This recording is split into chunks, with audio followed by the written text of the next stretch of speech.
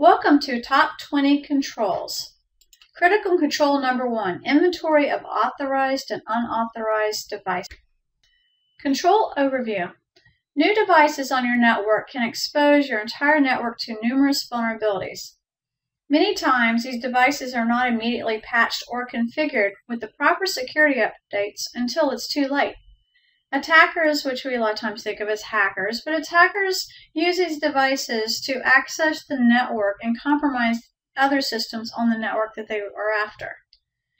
While these vulnerable devices may not really have anything super important on there, realize they can serve as a gateway or as a pathway for the attacker to get to systems they really are targeting.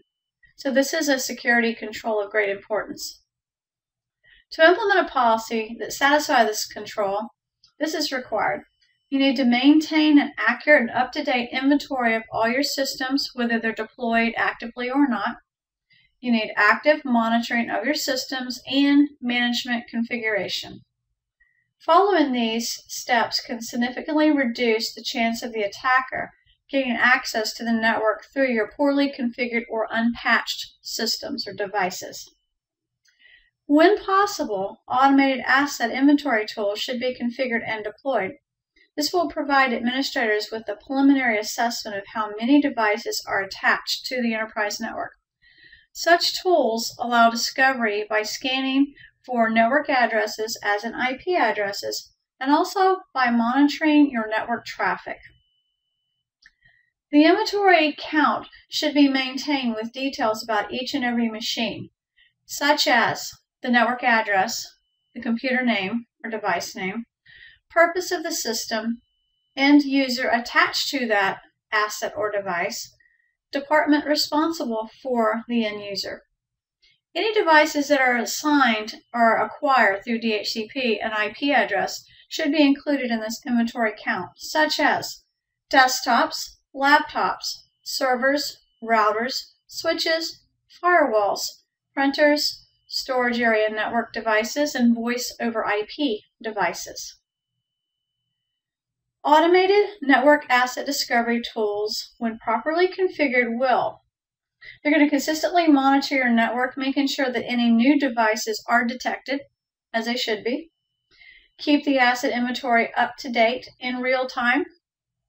Properly alert the administrators when there's a discrepancy detected and disable unidentified devices on the network when they are detected because we only want to have devices that are authorized on our system, not unauthorized devices.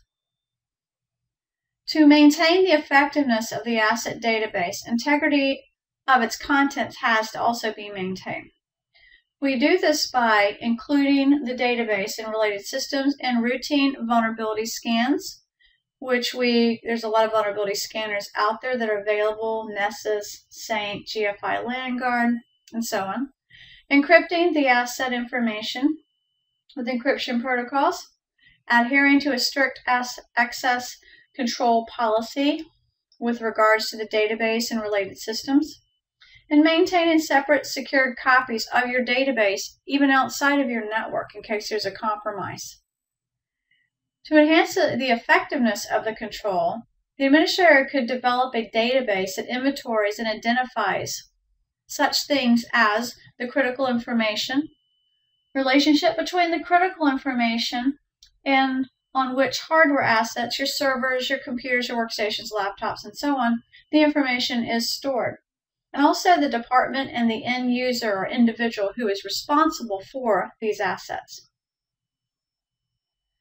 To test the automated tools, administrators should deploy devices on the network and ensure the system is operating properly, as well as noting the amount of time that it takes for the device to be recognized by that particular tool.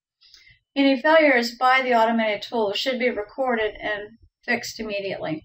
Administrators can also include removable media in their control automation this includes external hard drives, USB, flash drives, and anything that can store information. Additional hardware resources could be required depending on the size of your organization, as well as the number of devices that you need to inventory. Some automated asset discovery systems require a separate server to be set up to handle the monitoring and the administration of that of your network. Adequate preparation should be made ahead of time to ensure that the controls will be implemented successfully. Additional information. Automated network tools will also introduce additional bandwidth strain on your enterprise network. These, we need to look at preparations for this because we do not want these automated tools that are giving us you know, a great feature or they are helping us to at the same time interrupt our business continuity. Because of the dynamics of portable and wireless devices such as your laptops, consideration should be made with regards to tracking of the inventory of these devices. These devices tend to come and go, they tend to travel with the user, and they may, it could be easy to forget about these if we're not careful. Likewise, remote and virtual systems will need to be inventoried carefully to ensure they're accounted for as well.